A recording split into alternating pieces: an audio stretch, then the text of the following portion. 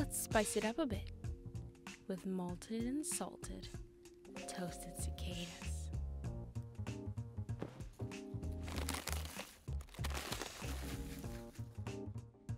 I'm not eating that. No matter what happens tomorrow, you're still a champion. You're still an extraordinary human being.